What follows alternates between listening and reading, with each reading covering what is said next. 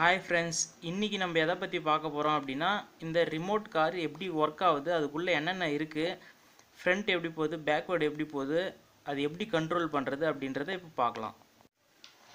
வந்து இந்த கார் வந்து ஃபார்வேர்டில் போயிட்டு இருக்கு. இப்போ வந்து இது காரு பேக்வேர்டில் எப்படி வருதுன்னு பார்க்கலாம்.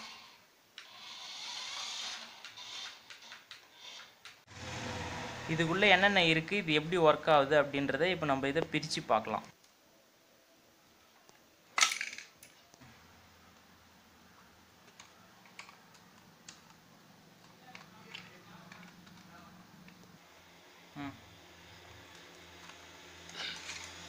இதில் வந்து பார்த்தீங்கன்னா மூணு பேட்ரி இருக்குது மூணு வந்து இந்த ரிமோட்டுக்கெல்லாம் போடுவோம்ல அந்த மாதிரி பேட்ரி வந்து மூணு இருக்குது இந்த பேட்ரி மூலியமாக தான் வந்து நம்ம கண்ட்ரோல் பண்ண முடியும். இதையும் வந்து நம்ம கழட்டி பார்க்கலாம். இதுக்குள்ளே வேறு என்னென்ன இருக்குது அப்படின்றத இப்போ பார்க்கலாம். இந்த பேட்டரியோட கெப்பாசிட்டி வந்து பார்த்தீங்கன்னா செவன் ஹண்ட்ரட் எம்ஹெச் இப்போ இதுக்குள்ளே வேறு என்னென்ன இருக்குது அப்படின்றது மொத்த போர்டை கழட்டி பார்க்கலாம்.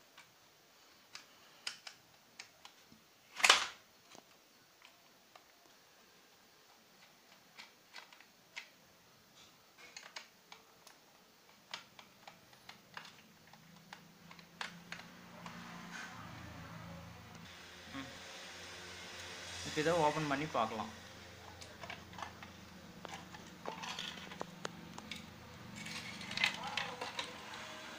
இதுக்குள்ளே பார்த்தீங்கன்னா ஒரு கண்ட்ரோல் போர்டு இருக்குது இது வந்து பார்த்தீங்கன்னா trans receiver trans receiver board RC car race board இது பேர். இந்த போர்டு வந்து பார்த்திங்கன்னா நம்ம வந்து இந்த கண்ட்ரோல் ரிமோட் கண்ட்ரோல் மூலிமா கண்ட்ரோல் பண்ணுற சிக்னல்ஸை வந்து ரிசீவ் பண்ணிவிட்டு நம்ம கொடுக்குற ரைட்டு லெஃப்ட்டு அதுக்கு தகுந்த மாதிரி வந்து இந்த கார் வந்து ஒர்க் ஆகும். இதில் வந்து பார்த்திங்கன்னா ரெண்டு மோட்டர் இருக்குது பேக் வீல் ரெண்டு மோ ரெண்டு வீலுக்கும் சேர்த்து ஒரு மோட்டாரு ஃப்ரண்ட் வீல் ரெண்டுத்துக்கும் சேர்த்து ஒரு மோட்டார் இருக்குது நம்ம கண்ட்ரோல் எப்படி பண்ணுறோமோ அதுக்கு தகுந்த மாதிரி ஒர்க் ஆகும். இந்த போர்டு மூலிமா தான் எல்லாமே வந்து ஒர்க் ஆகுது. இந்த போர்டு வந்து எப்படி ஒர்க் ஆகுது அப்படின்னு பார்த்தீங்கன்னா பின்னாடி மூணு பேட்டரி இருக்குது பாருங்கள் இந்த பேட்டரியோட பவர் கண்ட்ரோல் மூலிமா தான் வந்து இந்த போர்டு வந்து ஒர்க் ஆகுது. இது சிக்னல் வந்து எப்படி ரிசீவ் பண்ணுது அப்படின்னா இது வந்து ரிசீவர் ரிசீவர் ஐசி வந்து இதில் வந்து ஃபிக்ஸ் பண்ணியிருக்காங்க அதனால் வந்து நம்ம கொடுக்குற சிக்னலை வந்து இதில் வந்து ரிசீவ் பண்ணிக்குது. இரநூறு மீட்ரு வரைக்கும் இந்த ரிமோட் வந்து ஒர்க் ஆகும்.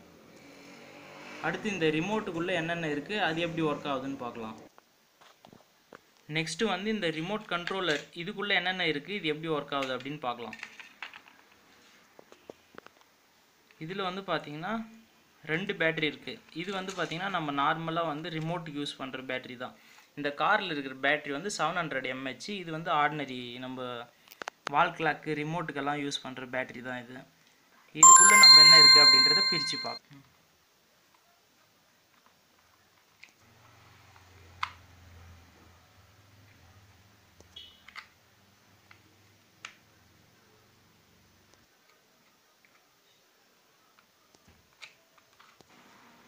இப்போ இதுக்குள்ளே என்ன இருக்குது அப்படின்றத பார்க்கலாம்.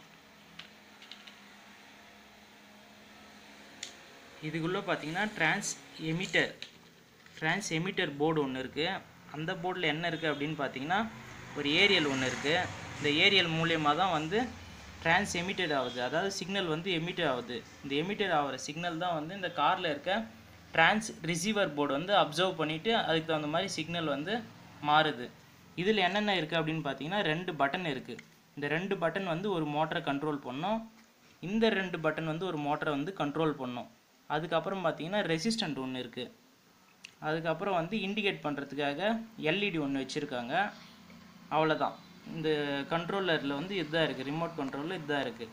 இந்த போர்டு வந்து ட்ரான்ஸ் எமிட்டரு காரில் இருக்கிறது வந்து ட்ரான்ஸ் ரிசீவர் இது மூலிமா தான் வந்து நம்ம வந்து இதை ஒர்க் பண்ண ஒர்க் ஒர்க் ஆகுது. நெக்ஸ்ட் இந்த காரில் இருக்கிற பேட்ரி வந்து எப்படி சார்ஜ் பண்ணுறதுன்னு பார்க்கலாம். பேக் சைடு இருக்க மூணு பேட்ரி வந்து நம்ம வந்து சார்ஜர் மூலிமா க இது வந்து சார்ஜ் பண்ணிக்கலாம். இதுக்கு வந்து சார்ஜர் தனியாக இருக்குது இந்த சார்ஜர் வந்து இதோட கனெக்ட் பண்ணிட்டு நம்ம வந்து இது வந்து ஆன்லேயே தான் இருக்குது இதை வந்து இப்போ ஆன் பண்ணி பார்க்கலாம். சார்ஜ் எப்படி ஏற்றுன்ட்டு இப்போ இது பாருங்கள் இங்கே லைட் இண்டிகேட் ஆகுது. இது லைட் இண்டிகேட் ஆனால் இங்கே வந்து சார்ஜ் ஆகிட்டு இருக்குன்னு அர்த்தம். இது வந்து ஒரு ஒன் ஹவர் சார்ஜ் பண்ணால் போதும். ஒரு நாள் ஃபுல்லாக வந்து இதில் விளாட்லாம். Okay friends thanks thanks for வாட்சிங் நம்ம வீடியோ வந்து ஷேர் பண்ணுங்கள் லைக் பண்ணுங்கள் கமெண்ட் பண்ணுங்கள் சப்ஸ்கிரைப் பண்ணுங்கள்